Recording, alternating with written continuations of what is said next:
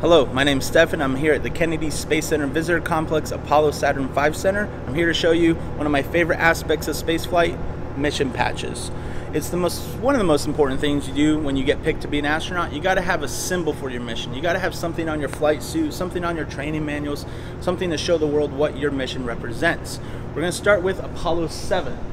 Now you can tell just by looking at the patch, they did not go to the moon, they stayed around the Earth. That's why the Earth is highlighted in the patch. It was the very first flight of the Apollo command module and service module.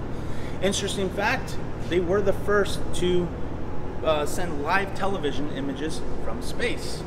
Now after Apollo 7 proved that we can have a command module working in space, we want to actually see if we can go to the moon. That task will be undertaken by the crew of Apollo 8, commanded by Frank Borman, Jim Lovell, and Bill Anders. Now, on that mission, they only took one spacecraft, the command module, um, but they learned quite a bit just by going to the moon. There's a lot of things you got to do to get there, and they proved that they could do it well. If you look at the patch, you can tell the shape of it. it is not just, it's no particular circle or square, it's actually in the shape of the Apollo command module. One of my favorite patches.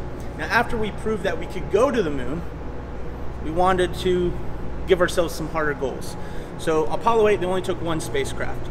Apollo 9, they had a second spacecraft ready to go the lunar module, the one that actually makes the landing. Now, at first, you don't want to take your lunar module to the moon. You want to test it around Earth. So, just by looking at the patch, there's no moon on that patch.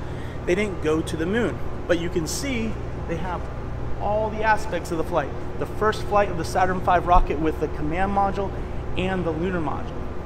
This was actually a D-class mission, which meant it was supposed to test the lunar module. So if you look at Jim McDivitt's name, there's actually a little red in there, signifying it's a D-class mission. Now, Apollo 8 had one spacecraft, so the call sign was Apollo 8. But Apollo 9 had two spacecraft, so they had to come up with multiple call signs on Apollo 9 because the command module, when it came from the factory, it was wrapped in colorful foil. They called it gumdrop, the candy. The lunar module, they called spider. Those spindly legs, they called it spider. It makes it easy to distinguish which spacecraft is being talked to. Now, Apollo 9 set the stage for Apollo 10, which they did go to the moon, but it was a practice one for Apollo 11. They did go to the moon, but did not land. Once again, they brought the lunar module with them. They did not get to the surface. They did get about 15 kilometers close, which is when the powered descent for Apollo 11 would start. Now, you can't see the entire lunar module on Apollo 10. You only see the ascent module. The descent module that has all the fuel for landing, they had to get rid of.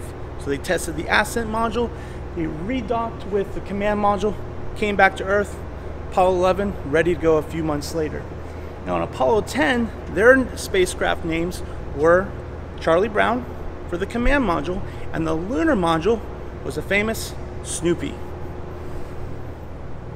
All right, now we're finally at the Apollo 11 patch, and everyone knows this is the first one to actually land on the moon. And you're going to notice that there's no names on the patch, as all the others had names. Neil, Buzz, and Michael said they don't want their names on it. They want it to represent the 400,000 people that came together to build this uh, this whole program to make the lunar landing happen. You can also see that the eagle is carrying an olive branch, a very very famous symbol of peace.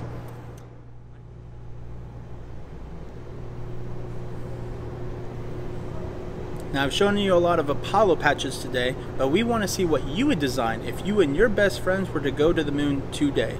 So create something, send it to us. We want to see what you come up with. My name's Stefan. Thank you for joining us.